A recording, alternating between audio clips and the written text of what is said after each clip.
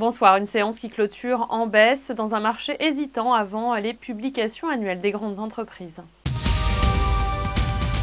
En forte hausse aujourd'hui EDF qui devrait dévoiler un plan destiné à économiser 1 milliard d'euros d'après des informations du Figaro.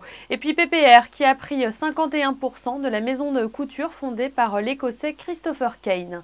Parmi les baisses significatives, on retiendra euh, les valeurs de la construction, Lafarge, Saint-Gobain et puis euh, Société Générale et BNP Paribas de leur côté ont fait l'objet de prises de bénéfices.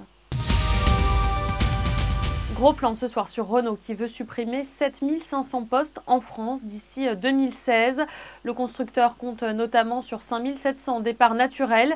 Il exclut euh, tout plan de départ volontaire, licenciement sec ou économique. Les suppressions de postes envisagées représentent 14% environ de l'effectif actuel de Renault en France. Renault qui s'est engagé à ne pas fermer de site en France si un accord est conclu avec les syndicats. La prochaine séance de négociation est programmée pour le 22 janvier prochain.